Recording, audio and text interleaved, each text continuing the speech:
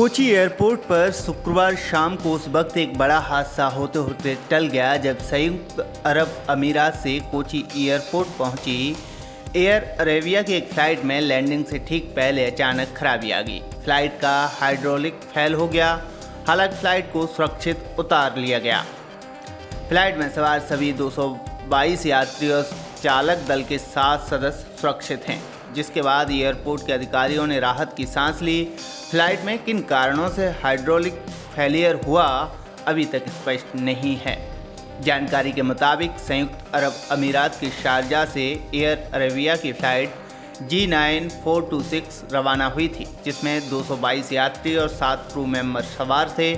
Pilot को जैसे ही hydraulic failure की बात पता चली, सूझबूझ दिखाते हुए तुरंत फ़्लाइट को कोची एयरपोर्ट पर लैंड कराया गया।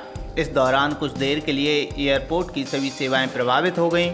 फ्लाइटों की उड़ानों पर रोक लगा दी गई। हालाँकि स्थिति कंट्रोल में आने के बाद फिर से उड़ानों का परिचालन शुरू कर दिया गया। कोची अंतर्राष्ट्रीय हवाई अड्डा प्राधिकरण ने बताया कि एयरपोर्ट पर संचालन फिर से शुरू हो गया है। पहली फ़्लाइट इंडिगो कोची से चेन्नई रवाना हुई है। आठ बजकर बाईस मिनट पर पूर्ण आपातकाल वापस ले लिया गया।